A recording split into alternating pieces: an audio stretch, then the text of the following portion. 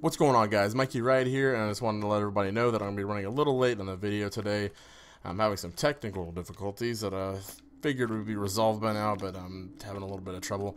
But um, nonetheless, I will definitely have something out for you guys today to watch. I don't know what, and it'll probably be around 5 is what I'm shooting for. I thank you guys so much for understanding, and I'll be sure to let everybody know when the video is up, and we'll get right back on schedule. But thank you guys so much for watching, and as always, I'll see you again, hopefully today, real soon. Thanks, guys.